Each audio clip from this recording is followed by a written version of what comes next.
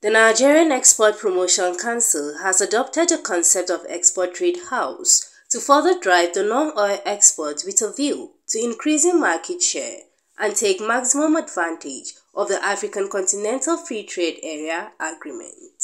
The NEPC established the export trade houses under a public-private partnership arrangement in furtherance of fulfilling its mandate of promoting the development and diversification of Nigerians' non-oil export base. The Executive Director NEPC, Ezra Yakusak, who disclosed this in Abuja at an advocacy program on the Export Trade House, Cairo, Egypt, with a team leveraging an export trade house to boost exports from Nigeria said the initiative is aimed at increasing Nigerians' international market share.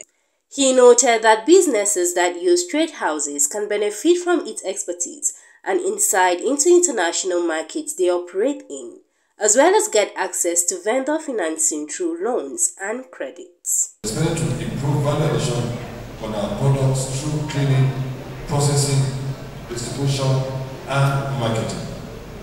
This in turn will lead to economies of scale, international foothold in finding new customers and managing currency.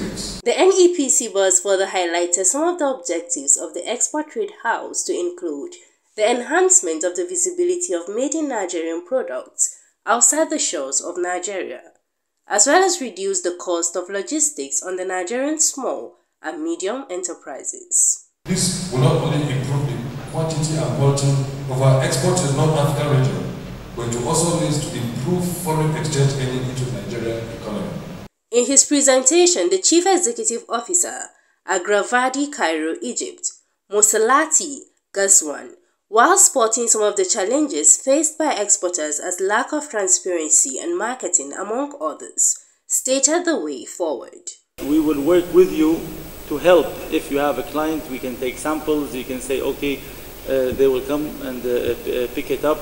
We can help you in promoting your, but this is your main job to is to create uh, uh, the awareness if the product is unknown to us. The council, however, disclosed that it intends to establish the export trade houses in different centers around the globe, namely Cairo in Egypt, Nairobi in Kenya, and Johannesburg in South Africa, amongst other countries.